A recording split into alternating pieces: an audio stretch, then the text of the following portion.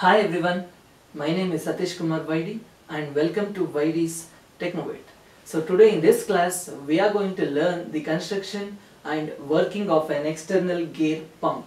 So usually pumps are the heart of the hydraulic system and uh, all the pumps works on the principle that a partial vacuum is created at the inlet.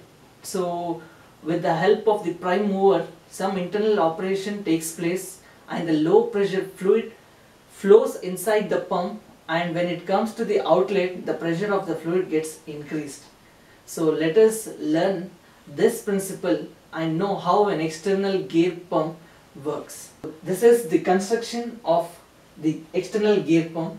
In simple there will be an inlet port, there will be an outlet port and there will be a gear which might be spur gear or it might be an helical gear and all these parts are placed inside the casing.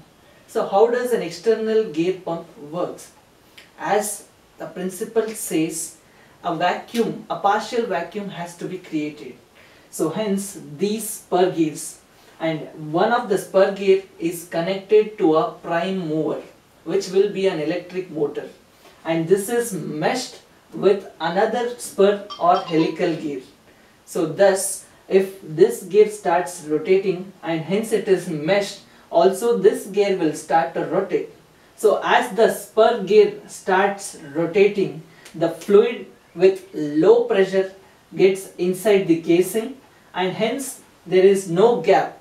The gears has been meshed so the fluid will pass throughout the casing and it will come out of the outlet port with high pressure and hence the low pressure fluid is converted into high pressure fluid with the help of these gears.